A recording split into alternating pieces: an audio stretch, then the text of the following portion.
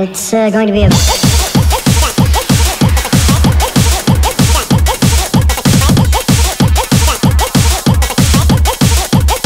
very big hit.